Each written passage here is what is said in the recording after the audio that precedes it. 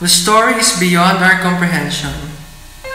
Our Creator became one of us.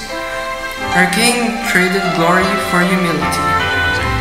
Our God came to be crushed by those he loved.